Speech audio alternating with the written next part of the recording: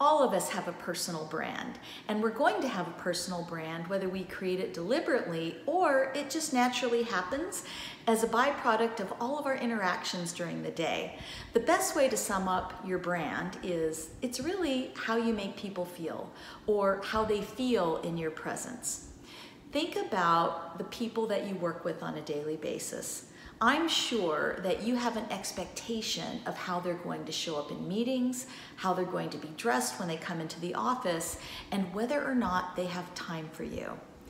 Others have that impression of you as well. So, a little exercise in thinking about what is that next step you want to make or the position that you would like to be considered for and how would you need to show up in order to be a great candidate will help you build a brand that's going to move you forward in your career and not hold you back. If it's important for you to be collaborative and thoughtful, think about that when you're in meetings. How can you open up a conversation instead of shut it down? Are there changes in your language you can make that will be much more inclusive?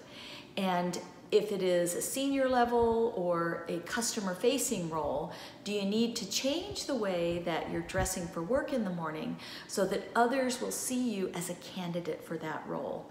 Our brand is a huge factor in the way that we move forward in our careers. And a little bit of thought into how we're going to build it is a great use of your time because people will remember how you make them feel they won't always remember exactly what you've said or what your education is, what your experiences are.